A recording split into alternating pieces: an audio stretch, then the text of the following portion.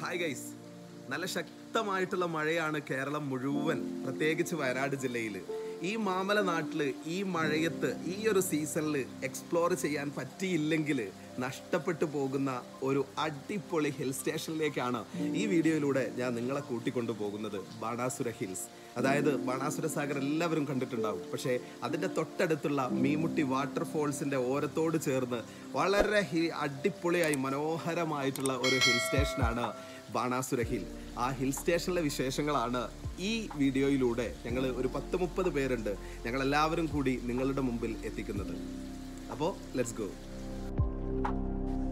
വയനാട്. ഇതൊരു സുഹൃതത്തിന്റെ നാടാണ്. മഞ്ഞു പെയ്യുന്ന മാമരം കോച്ചുന്ന ഞങ്ങളുടെ നാട്ടിൽ അത്ഭുതങ്ങൾ ഏറെയാണ്. പ്രകൃതി അനുഗ്രഹിച്ചരുളിയ ഞങ്ങളുടെ ഈ മാമല നാട്ടിൽ കാടും മലയും പുഴകളുമെല്ലാം കൊണ്ട് അനുഗ്രഹീതമാണ്. കേരളത്തിലെ ഊട്ടി എന്നറിയപ്പെടുന്ന ജില്ല. ഇതുപോലൊരു പ്രദേശം യൂറോപ്പിലായിരുന്നെങ്കിൽ പ്രസ്തുത ദേശം ഭൂമിയിലെ സ്വർഗമായിരുന്നേനെ എന്ന് പറഞ്ഞത് ബ്രിട്ടീഷ് ഭരണകാലത്തെ മദ്രാസ് ഗവർണറായിരുന്ന എം ഇ ഗ്രാൻഡഫാണ്. കാടിനെയും പച്ചപ്പിനെയും പ്രണയിക്കുന്ന സഞ്ചാരികളുടെ ഇഷ്ടയിടം. ഈ മാമലനാട്ടിലെ ട്രക്കിങ്ങിന് ഭാഗമാകാൻ ആഗ്രഹിക്കുന്നവർക്ക് ആവശ്യമായിട്ടുള്ള എല്ലാ വിവരങ്ങളും ഈ വീഡിയോയുടെ ഡിസ്ക്രിപ്ഷനിൽ ഞാൻ കൊടുക്കുന്നുണ്ട്. ടിക്കറ്റ് പ്രവർത്തന സമയം തുടങ്ങിയ എല്ലാം. ഈ ട്രക്കിംഗ് സ്പോട്ടിന്റെ പ്രവർത്തനങ്ങൾ ഏകോപിപ്പിക്കുന്നത് വാരാമ്പറ്റ വനസംരക്ഷണ സമിതിയുടെ പങ്കാളിത്തത്തിൽ സൗത്ത് വയനാട് ഫോറസ്റ്റ് ഡിവിഷനിലെ പടിഞ്ഞാറത്ര സെക്ഷനിലെ മീമുട്ടി വാട്ടർഫോൾസ് എക്കോ ടൂറിസം ഡിപ്പാർട്ട്മെന്റിന്റെ കീഴിലാണ്. ഏകദേശം അഞ്ച് കിലോമീറ്റർ ഉയരത്തിലേക്കാണ് ഈ ട്രക്കിംഗ് സ്പോട്ട് നിലകൊള്ളുന്നത്. ട്രക്കിംഗ് ആരംഭിക്കുന്നതിന് മുമ്പ് തന്നെ വിശദമായ ഒരു ഡെമോ ക്ലാസ് നമുക്ക് അംഗീകൃത ടൂറിസ്റ്റ് ഗൈഡിൽ നിന്നും ലഭിക്കുന്നതാണ്. ഞങ്ങൾക്ക് കുഞ്ഞുമോൻ സാറായിരുന്നു ഞങ്ങളുടെ ഗൈഡ്. വേണ്ട നിർദ്ദേശങ്ങൾ എല്ലാം ഇദ്ദേഹം ഞങ്ങൾക്ക് പങ്കുവച്ചു തന്നിരുന്നു. ഈ നാടിന്റെ പൈതൃകങ്ങൾ ചരിത്രം ഭൂമിശാസ്ത്രം ജന്തുമൃഗാദികൾ നടപ്പാതകൾ കാലാവസ്ഥകൾ തുടങ്ങി എല്ലാം അദ്ദേഹത്തിന് ഹൃദ്യമാണ്. ആദ്യാവസാനം വരെ ഇദ്ദേഹം ഞങ്ങൾക്ക് വേണ്ട നിർദ്ദേശങ്ങൾ തന്നു തന്നുകൊണ്ട് കൂടെ തന്നെ ഉണ്ടായിരുന്നു. ഇദ്ദേഹത്തിന്റെ നമ്പറും ഞാൻ ഡിസ്ക്രിപ്ഷനിൽ അപ്ഡേറ്റ് ചെയ്യുന്നുണ്ട്. ട്രക്കിങ്ങിന്റെ ഭാഗമാകുന്നവർ ശ്രദ്ധിക്കേണ്ട ചില കാര്യങ്ങളുണ്ട്. ആദ്യത്തെ ഒന്നര കിലോമീറ്റർ വനപാത മാത്രമാണ് അട്ടകളുടെ രൂക്ഷമായിട്ടുള്ള ശല്യങ്ങളുള്ള സ്ഥലം. കഴിവതും ഇവിടങ്ങളിൽ ഒരു മിനിറ്റ് പോലും നിർത്താതെ നടക്കാൻ തന്നെ ശ്രമിക്കുക. അട്ടകളിൽ നിന്ന് രക്ഷപ്പെടാൻ ഉപ്പ് സാനിറ്റൈസർ വെളിച്ചെണ്ണയിൽ ഉപ്പ് പുരട്ടിയുണ്ടാക്കിയ മിശ്രിതം അങ്ങനെ പലതും നമുക്ക് ദേഹങ്ങളിൽ പുരത്താവുന്നതാണ്. ഇനി അട്ട കടിച്ചാൽ പോലും അത്ര മാരകമല്ല എന്നുള്ളതാണ് സത്യം. ഏതൊരു പ്രദേശത്തിനും ആ പ്രദേശത്ത് പ്രചരിക്കപ്പെടുന്ന ഒരു വാമൊഴി കഥയുണ്ടാകും. ചരിത്രവും ഐതിഹ്യവും വേർതിരിക്കാൻ കഴിയാത്തത് അല്ലെങ്കിൽ അസാധ്യമാകുന്നത് കൃത്യമായിട്ടുള്ള രചനകൾ ഇല്ലാത്തതാണ് എന്ന് നമുക്കറിയാം. വയനാട് ജില്ലയുടെ വടക്ക് പടിഞ്ഞാറ് ഭാഗത്ത് സ്ഥിതി ചെയ്യുന്ന ബാണാസുര മലയ്ക്കും പ്രാന്തപ്രദേശങ്ങൾക്കും പ്രാചീനവും സുപ്രധാനവുമായിട്ടുള്ള സാമൂഹിക ചരിത്ര പശ്ചാത്തലമാണ് ഉള്ളത്. ഇതിഹാസ പരാമർശിയായ ബാണാസുരന്റെ കഥയുമായി ബന്ധമുള്ള പടിഞ്ഞാറ് ഭാഗത്തെ മലനിരകളുടെ താഴ്വാരങ്ങളിലെ പല പ്രദേശങ്ങൾക്കും പൗരാണിക പാരമ്പര്യം തന്നെയാണ് അവകാശപ്പെടാനുള്ളത്.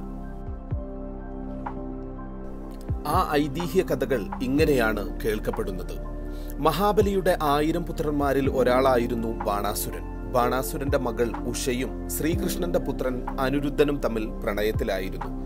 പ്രണയത്തിലായിരുന്നു എന്ന് മാത്രമല്ല ഇവർ ഇടയ്ക്കിടക്ക് സന്ധിക്കലുണ്ടായിരുന്നു എന്നും ഉഷയുടെ തോഴിമാരിൽ നിന്ന് അറിവ് കിട്ടിയ ബാണാസുരൻ തോഴിമാരെ ഒറ്റുകാരാക്കി അനിരുദ്ധനെ തടവിൽ പിടിക്കുകയുണ്ടായി.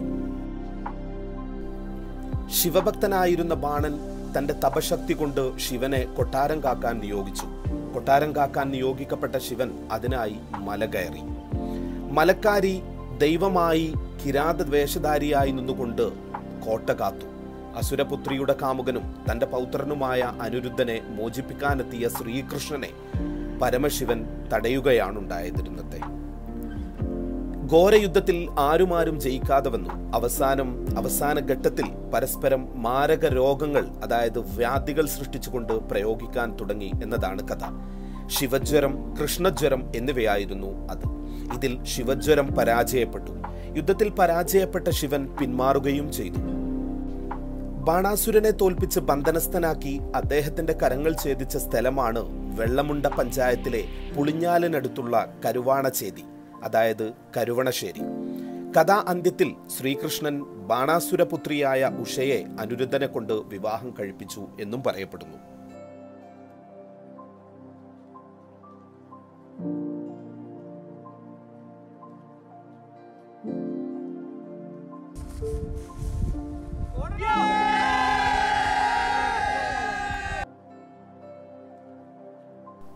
പുരാണ പ്രസിദ്ധമായ ഈ ഏറ്റുമുട്ടൽ നടത്തിയ ബാണാസുരന്റെ ഉദയരി ഉദയഗിരിക്കോട്ട ബാണാസുരമലയാണ് എന്നാണ് വിശ്വസിക്കപ്പെടുന്നത്. വയനാട്ടിലെ പ്രമുഖ ആദിവാസി വിഭാഗമായ പണിയർ ഈ മലയെ ദേവചൈതന്യമുള്ള മലയായും കാണപ്പെടുന്നു. ദേവമാംസമുണ്ടെന്ന് വിശ്വസിക്കപ്പെടുന്ന ഈ മലയെ അവർ അറിഞ്ഞോ അറിയാതെയോ ആരാധനയോടുകൂടെയും ഭക്തിയോടും കൂടെയാണ് കാണപ്പെടുന്നത്. ഈ പറഞ്ഞതെല്ലാം കുഞ്ഞുമോൻ സാറിന്റെ ഡെമോ ക്ലാസിൽ നിന്നും ഞാൻ ഓർത്തെടുത്തതാണ്. രണ്ടായിരത്തി അഞ്ഞൂറ്റി അൻപത് അടിയിൽ കൂടുതൽ ഉയരമുള്ള ഈ ബാണാസുര ഹിൽ സ്റ്റേഷന്റെ ഏകദേശം രണ്ട് കിലോമീറ്റർ ചെങ്കുത്തായ മല നമ്മൾ കയറി കഴിഞ്ഞാൽ ഒരു ഇടത്താവളം പോലെ ഒരിടം നമുക്ക് കിട്ടും. അവിടെ നിന്ന് രണ്ട് ദിശകളിലേക്കായി സായിപ്പ് കുന്ന് എന്നും കാറ്റാടിക്കുന്ന് എന്നും രണ്ട് മലകളെ നമുക്ക് കാണാം. കുറച്ച് ദൈർഘ്യവും ഏറ്റവും ഉയരവും കൂടിയത് സായിപ്പ് കുന്നാണ് എന്നാൽ ബാണാസുരയുടെ മനോഹരമായിട്ടുള്ള വ്യൂ കാണാൻ നമ്മൾ കാറ്റാടിക്കുന്നിനെയാണ് ആശ്രയിക്കാറുള്ളത്. പക്ഷേ ഞങ്ങൾ ആദ്യം സായിപ്പ് കുന്ന് പിന്നീട് കാറ്റാടിക്കുന്ന് എന്നിങ്ങനെയായിരുന്നു തീരുമാനിച്ചിരുന്നത്. ഒരേ കാഴ്ചയാണ് രണ്ട് മലയുടെയും മുകളിൽ നിന്ന് നമുക്ക് കാണാൻ സാധിക്കുന്നത്.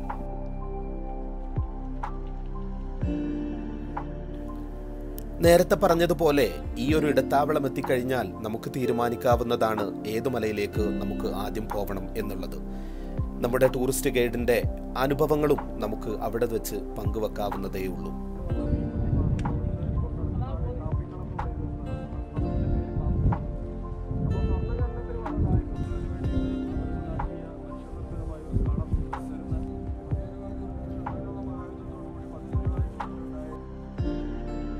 നേരത്തെ സൂചിപ്പിച്ചതുപോലെ അട്ടയുടെ ശല്യം രൂക്ഷമായി ഉണ്ടായിരുന്നതിനാൽ ഞങ്ങൾക്ക് പലർക്കും അട്ടകടി ഏൽക്കേണ്ടി വന്നു. എന്നാൽ മുൻകരുതലുകൾ ഉള്ളതിനാൽ ഞങ്ങൾക്ക് കൂടുതൽ പ്രയാസമായില്ല എന്ന് വേണം പറയാൻ. ത്യാഗങ്ങൾ ഒരുപാടുണ്ടായാലും ഓരോ പടി മുകളിലേക്ക് ചെല്ലും തോറും അതിമനോഹരമായിട്ടുള്ള കാഴ്ചയാണ് നമ്മുടെ കണ്ണിന് കുളിർമയേകുന്ന കാഴ്ചകളാണ് നമുക്ക് ലഭിച്ചുകൊണ്ടിരിക്കുക. വിശ്വസിക്കാൻ കഴിയാത്തത്ര മനോഹാരിത എത്ര ഫോട്ടോ എടുത്താലും വീഡിയോ എടുത്താലും മതി വരാത്ത ഒരു അനുഭൂതി. തീർത്ത് പറയാം സത്യത്തിൽ ഇവിടെ കേരളത്തിന്റെ സ്വിറ്റ്സർലാൻഡ് എന്ന് നമുക്ക് പേര് തെറ്റാതെ തന്നെ പറയാം. അട്ടകടി കൊണ്ടാലും മഴ പെയ്താലും അതുപോലെ തന്നെ ക്ഷീണിച്ചാലും എന്തെല്ലാം സംഭവിച്ചു കഴിഞ്ഞാലും മുമ്പേ ആ ബ്രിട്ടീഷുകാരൻ പറഞ്ഞതുപോലെ ഞങ്ങളുടെ നാട് സ്വർഗം തന്നെയാണ്. ട്രക്കിങ്ങിന്റെ പാതി വഴിയിൽ കഴിക്കാൻ ആവശ്യമായിട്ടുള്ള ഭക്ഷണം ഞങ്ങൾ മുൻപേ കരുതിയിട്ടുണ്ടായിരുന്നു വെള്ളവും.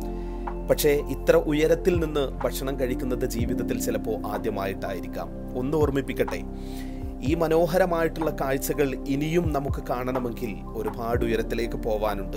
അല്പമിരുന്നാൽ അസ്തമയം വരെ നമ്മൾ ഇരുന്നു പോകും. കാരണം മുഖത്തേക്ക് അടിച്ചു വീശുന്ന കാറ്റ് അത്രമേൽ കുളിർമയേകുന്നുണ്ട് മനസ്സിനും ശരീരത്തിനും. മീമുട്ടി വാട്ടർഫോൾസിലേക്ക് കുതിച്ചെത്തുന്ന വെള്ളത്തിന്റെ ഒക്കെ ഉറവിടം ഇവിടെയാണ്. ഒരുപാട് ഉറവകൾ നമുക്ക് കുടിക്കാൻ അനുയോജ്യമായിട്ടുള്ള വെള്ളം നമുക്ക് കാണാൻ പറ്റും. എന്നാലും കഷ്ടപ്പെട്ട് ഒത്തിരി ഉയരത്തിലേക്ക് ഞങ്ങൾ വീണ്ടും വീണ്ടും കയറിയ സമയത്താണ് പകുതി വഴിയിൽ ഇതാ ഈ കാണുന്ന ഈ മരത്തിനടുത്തെത്തിയത്.